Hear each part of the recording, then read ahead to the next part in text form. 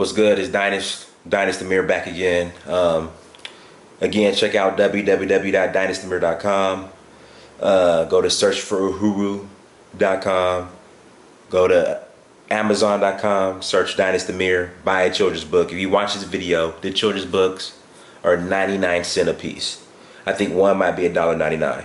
Buy your son, your daughter, niece, nephews, friends, your friends' kids, buy a children's book for them uh, wanted to shoot this video on why people in the conscious community don't legally change their names or why they get offended so damn offended if they have a different name but you call them by the legal name why they take it so damn personal. So I'll, I'll tell you my story. I legally changed my name. My name was albert horton hollis ii I identified with Dynastamir. I went and legally changed my name.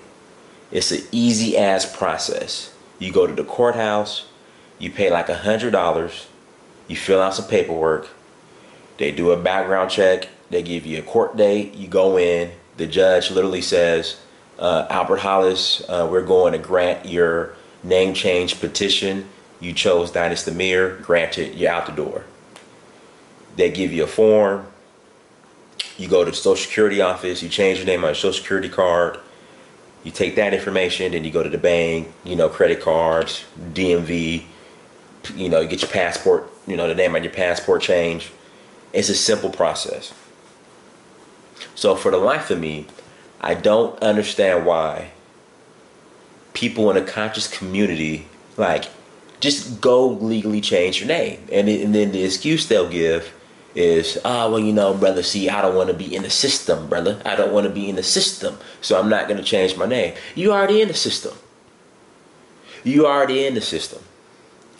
You know you know like i have people who and this is the reason why i'm shooting this video. I have a friend who has a very uh, european name so I call him by his European name. He's like, nah, brother. See, my name is Ankh Ra El Bay Hotep to the third power L. And he'll get mad if you call him by his European name. But if he needs help with anything, is brother, hey, can you help me pay this bill? When you call Metro PCS or AT&T, uh, the account's name is under uh, James Williams. And I just like, won't you just go legally change your name? It's easy. I'm gonna tell you why they don't legally change their names. Is a lot of these cats in the conscious community have some shady shady backgrounds. They got warrants. You know, they owe people. They have some some shady backgrounds. So what happens? I'm gonna tell you my story. When you go to your court date, there's a reason why you got to come to court to get your your, your, your name changed. Because what happens, I, this is what happened when I was there. There's a lady before me, before I came up to the judge. The lady comes up, you know, the judge is like, okay, Miss Olivia, you want to change your name to uh, Grace. The minute they said that, I turn around. The men in the men in black are at the back door. They snatched her ass up so fast and took her out that courtroom. It was crazy. So a lot of times these conscious cats refuse to change their name because they're gonna get when they when they go to the court date to change their name, they're gonna get locked up. That's why they won't change their name. And the reason why I legally changed my name is because it's confusing as hell. You know, I'm I'm with somebody that I've introduced myself to as Dynastamir, then I got somebody I grew up with, and they see me with that person, and like, hey Albert, how you doing, man? I haven't seen you in a while, Albert. And this person with me is like, Albert, who is Albert? Oh, well, you know, that's my that's my name. I didn't want to have those problems. So when that happens, nah, my name's not Albert, it's Dynastamir, it's legally changed. So there's no confusion. You can't call me Albert. If you if you send me a check in Albert, I can't Albert Hollis, I can't do nothing with it. It has to be Dynastamir. But these conscious cats, you know, they want you to call them one name, but then write the check out into, into another name. And it's just like, just won't you just go legally change your name? or if you know if they around they um they conscious friends and you call them by their government name, they take it personal.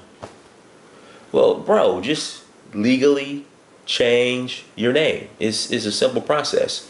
But again, the reason why they don't do it is because they have some shady backgrounds. And when they go to court date, um, you know, and the judge hears their petition, they're to get locked up by the men in black. That's my theory. So again, if you have three or four different names, choose one. Go get it. Go get it legally done. You already in the system. There's no avoiding that. You're in the matrix. There's no avoiding that. You're in the racist system.